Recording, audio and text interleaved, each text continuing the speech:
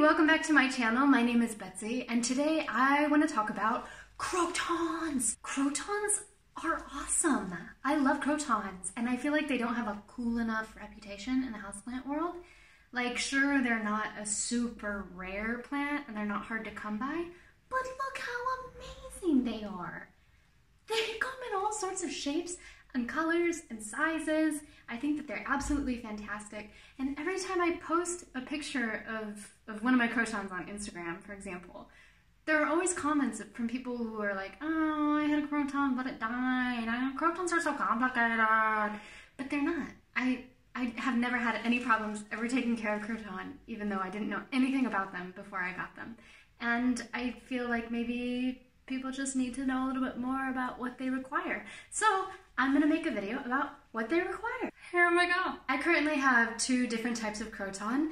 I actually got this one when I made um, my video of the plant tour of a garden center in Paris. If you're interested in seeing that video, you can click, click that link up there.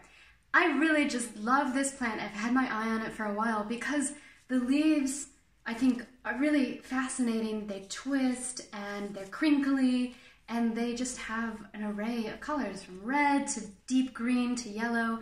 I think it's a really fun plant. I just, I can't look at this plant and not feel a little bit more cheerful than I did a moment ago. The other one that I have is a Croton Mrs. Iceton. You can see it needs watered. Uh, it's a little droopy right now. Usually it's a little more perky. And I got this at the grocery store downstairs. It was like one euro. Okay. It only had two leaves at the time, and that was that was probably in June. So you can see just how quickly they grow from June until now, November. It's grown many, many leaves, and it's just a beautiful plant. In terms of lighting, crotons really need bright, really bright indirect light. If you give them too much light and they get direct sun, like if you leave them in a west or south facing window and they get a few hours of direct hot sun every day, the leaves can get really dull looking. They won't very they won't be very pretty and uh, it can burn the leaves as well if, you, if they get too much direct sun. If you give them too low light, then the leaves will turn green, and then you won't have the super interesting, colorful, exciting plant.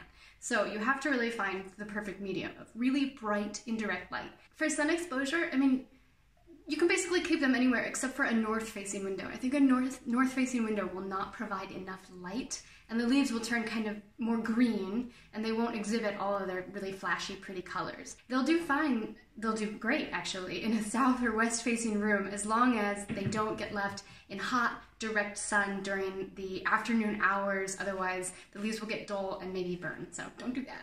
I need to, I need to switch. I need to switch. Switch my crotons. Uh, they prefer temperatures between like 60 and 80 degrees Fahrenheit, which would be like 15 to 27 degrees Celsius.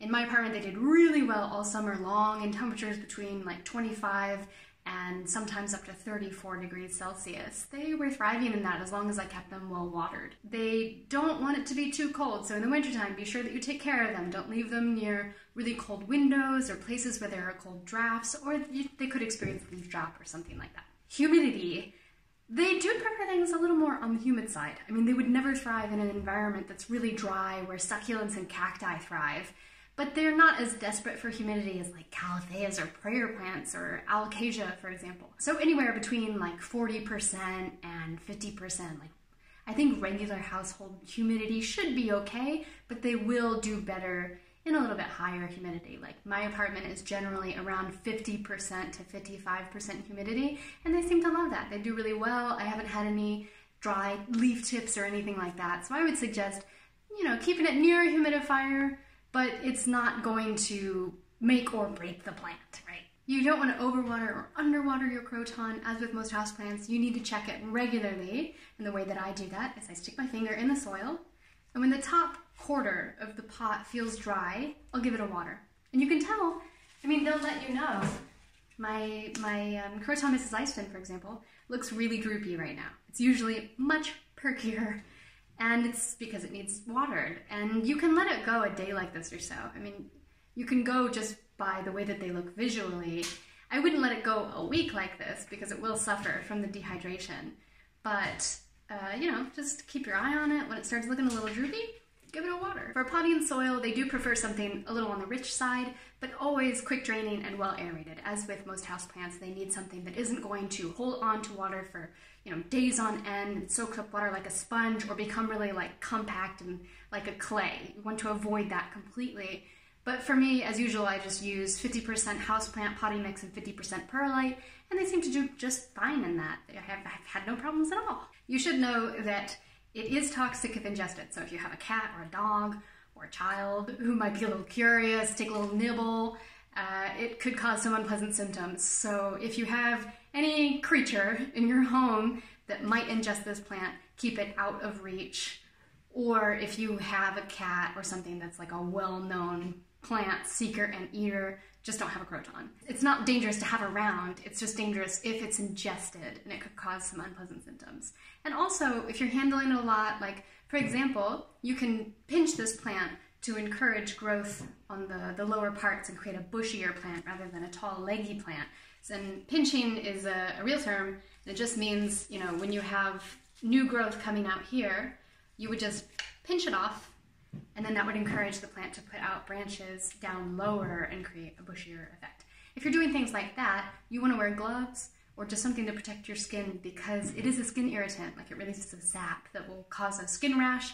You don't want to get that on your hands, and that's all. It won't poison you or anything, it just might cause, you know, an itchy or, or burning rash.